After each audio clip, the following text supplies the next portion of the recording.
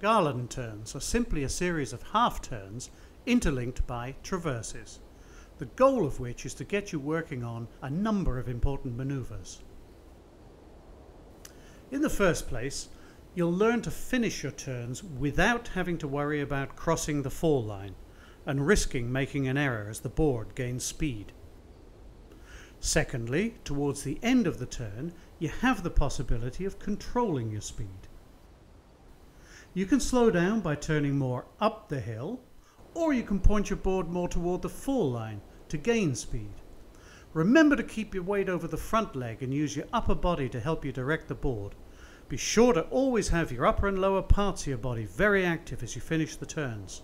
As you slow down, push your rear foot to help turn the board into the traverse position. Try to imagine that you're drawing a staircase design in the snow